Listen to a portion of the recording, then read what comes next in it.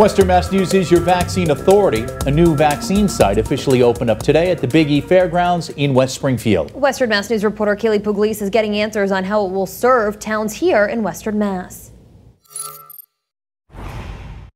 You know, it's very important for us to be part of the solution for, you know, a lot of reasons because everybody is familiar with these grounds. The ribbon has been cut and the Big E Regional Vaccination Site officially opening up Tuesday, giving Bay Staters another option to make an appointment at a place many people know well, something Eastern States Exposition President and CEO Gene Cassidy is excited uh, about. And to be honest, I was disappointed that we weren't made a vaccination site much earlier in the equation for that reason.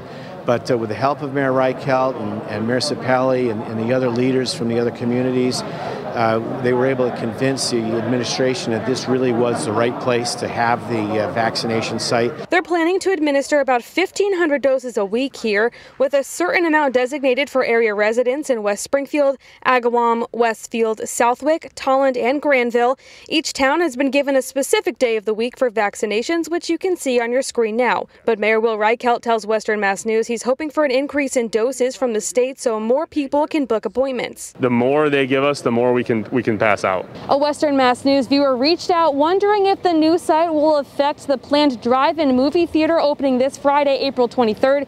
You asked, we got the answers, and good news, it's still on. So what's nice about the Big E Fairgrounds is that there's more than enough room here for everything. And Cassidy is confident, especially with vaccinations, that the much anticipated Big E Fair will reopen in full swing this fall. We've got a, a, a nice runway uh, as we anticipate the opening of the Big E 2021. Kaylee Pugliese, Western Mass News.